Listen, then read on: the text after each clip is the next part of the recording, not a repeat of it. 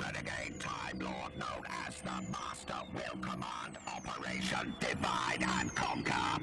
The Master will coordinate attacks on spacecraft from the Earth and Draconian space empires. We will provide him with a force of Ogrons to carry out these attacks. Use of hallucinogenic technology will ensure that Earthlings will see the attacking Ogrons as Draconians. Draconians will see attacking Ogrons as Earthlings. Diplomatic relations will break down. War will be declared. The humans and Draconians are well matched.